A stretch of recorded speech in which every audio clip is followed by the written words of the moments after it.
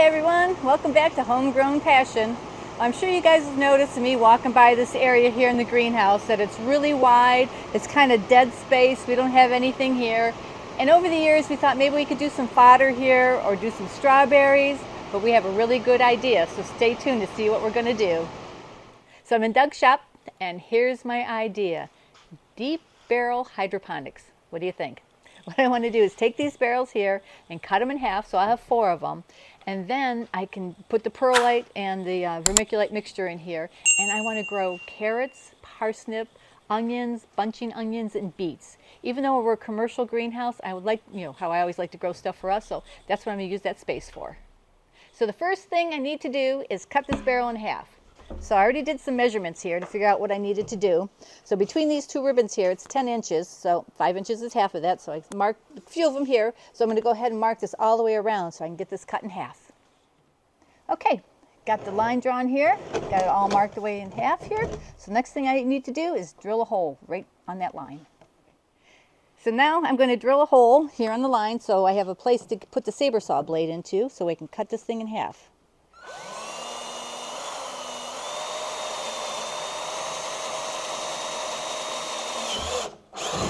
There we go, all ready to go. So I like to use a saber saw for a project like this because I can adjust the speed, how fast and slow it goes. Because if it gets going too fast, it kind of scares me. That's why I'm not using a Sawzall. You know, when you put one of those in, it bounces all over the place, and that's not, not good for me. So I'd like to use this little guy.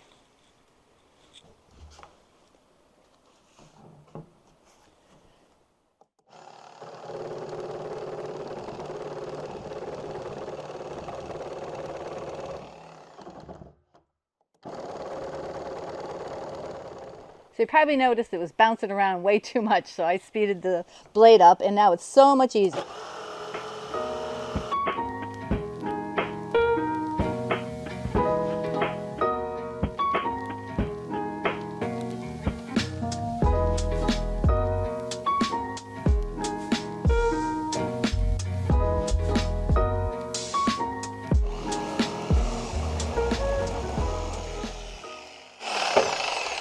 There we go. So I still have to cut the other barrel in half, but I wanted to show you real quick here what else we need to do. We need to drill a hole in here, and we have a three quarter inch grommet, and we're going to put that in here with the pipe, and then that pipe is going to go to our discharge line because these are going to be uh, drained to waste. We're not going to recycle the water, so we're going to use the same formula that I'm using for my tomato and pepper plants, and this is going to be piped over to these guys, go into the top, and then discharge out the bottom.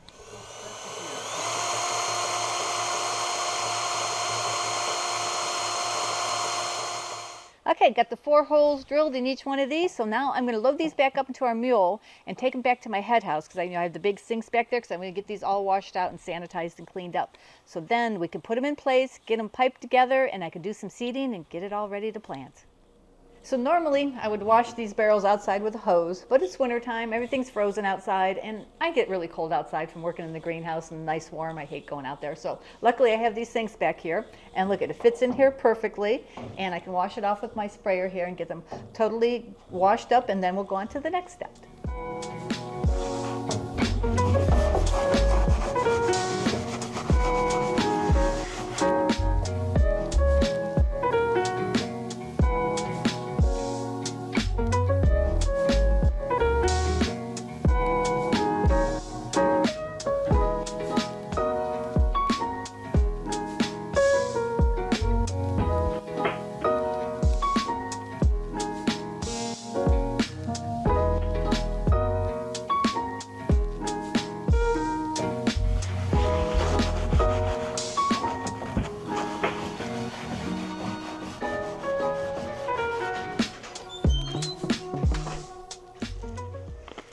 Okay, got all the barrels washed up and ready to go. And while they're drying, I thought I would get the seeding done here. So I already had the carrots and the beets in stock, and I didn't have any parsnips or onions. So of course, this time of year, January, I was excited about gardening, so all the stores have all their seeds out. So I zipped over and got some onions and some parsnips, so I can do that also. So I got the four barrels, and I got my Oasis cubes here ready to go and I'm going to go ahead and plant these. The carrots are going to be really easy because they're pelleted and the beets aren't too bad to do, but I'm not sure about um, parsnips or onions. I've never really planted those before, so this should be interesting. So the reason why I wanted to do the deep barrels is I wanted to see if I can get the carrots really nice and long and big. Because last time I did them in the Bato buckets and they didn't go as big as I had hoped they would be. So that's what I'm going to do with that. That's why we decided to do the bigger barrels. And I'm going to plant 24 of each of the different varieties here that I want to seed. Because I don't think I can put 24 in each barrel, but I am not sure about the germination rate. So I want to make sure everything's germinated and I have enough to go in there. So I've never started onions from seeds before. I've always gotten onions. That's to plant outside. So let's see how big these seeds are. I'm sure most of you guys know how big they are, but I don't. Let's see if I can get this open without spilling. Oh yeah, these guys are nice and little. I think I'm going to get my tweezers. So for the onion seeds, I'm going to put a couple in each hole, and then I can thin them, just to make sure I have all that I need.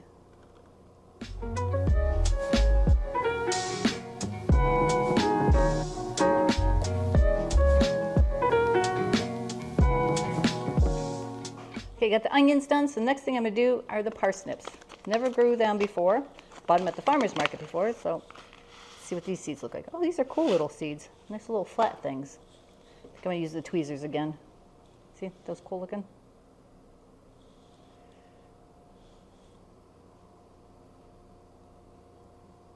So again, I'm doing 24 and hopefully I get good germination. And if I have to thin them, I will do that.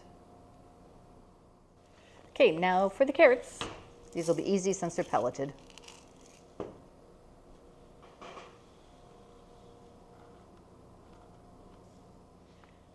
Okay, last I'm going to do are the beets. I've done these before in the NFT channels, and actually beets do grow. They don't grow nice and pretty round. They're a little funky looking, but they do grow in the hydroponics, so I'm hoping they'll do really well in the, these deep barrels.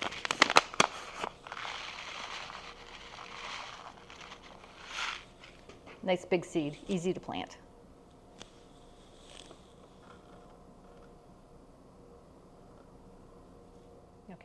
So I'm ready to put these into the control tunnel and hopefully they germinate quickly because the parsnip said anywhere between 14 and 21 days. I'm not used to that long, but hopefully in the heat over there they'll do a little bit faster. But at least I have each one of these in separate cubes so if one doesn't germinate fast enough, I can get the other ones planted. So you saw me drill the holes here for the discharge line. So I got the grommet in here with my three quarter inch pipe and I put a union on here so when I'm done at the end of the season and I want to take them apart, I can just unscrew this and take it apart from the pipe that's going to be the discharge line laying on the ground, so it'll be a lot easier. And just remember, when you're putting things on, remember to use your primer, cleaner, and then glue it. Otherwise, it doesn't stick really good. So the pipe goes all the way through the barrel. It goes into the inside of it here, and then I put a 90 on it, so the when it does fill up with water, that the perlite doesn't get caught in the discharge line, just like the Bato buckets out there in the main greenhouse. Okay, so now I'm ready to carry these out into the greenhouse and get them filled up with perlite. So you know what I'm thinking? I should have did this this morning. The sun comes out today and now it's like yeah, 85, 90 degrees in here, even though the environmentals are on.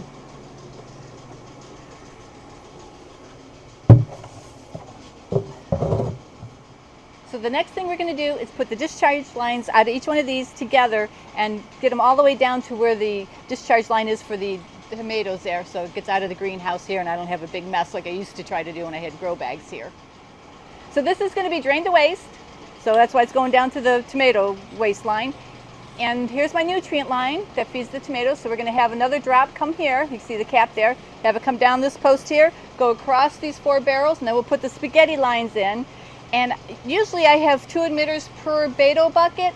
I think I'm probably going to do four or six. I'm not sure yet. We'll see how much it waters it and gets it wet before the uh, seeds germinate because I'm going to put all the growing medium in here and get it all moist and ready for them to go in and we'll see if it stays moist enough or not. Now the next thing I need to do is put my mask on and fill these up with the perlite and see how much one bag fills one of these barrels up.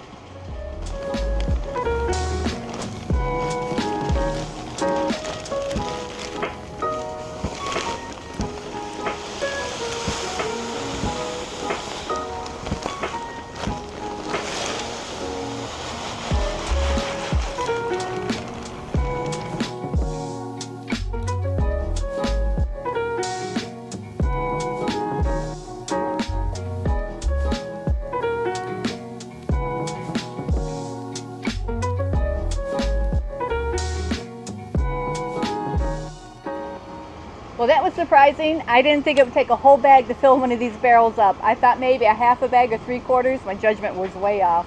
But luckily, if you guys saw my last video, I won the auction and I have tons of perlite now.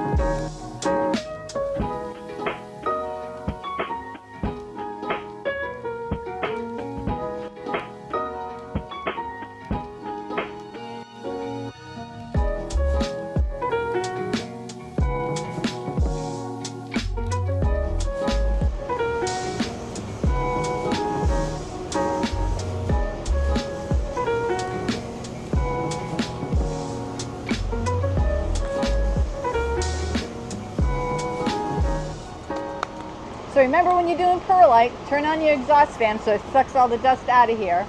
And I also wanted to mention that even though it seems like a lot of perlite in these barrels here, I'm growing root crops. So when I pull the carrots out or the parsnips or the onions, it's going to bring all the roots and everything with it. So I'm going to be able to use this growing medium numerous times. So it's not going to be wasted just on a one-time deal. Okay, so I got the water line installed here. Did a tee up there at the top dropped it down, put a shut-off valve on it, which I like shut-off valves on everything. Comes down, put a 90, and it goes across underneath the channel, so then I can put the spaghetti tubes into here, into my growing buckets. Did a little work on the discharge line. Got to finish that, but that's another thing that I can wait on because my plants haven't even sprouted yet, so we're doing good. So this is the three-quarter inch water line we're using. We mostly use this out in the high tunnel, but for this application, it's working really good. So I'll take the rest of this roll and put it back out in the high tunnel. So when I do my greenhouse update videos, I definitely keep you guys updated on our deep barrel hydroponics. And when we plant our plants in here, get the spaghetti tubes in, and just any kind of progress that's going on. I hope you guys liked today's video on the deep barrel hydroponics. We're always trying something different here in the greenhouse. So like always, leave me questions, comments, and suggestions down below. Don't forget to subscribe, and we'll see you guys next video.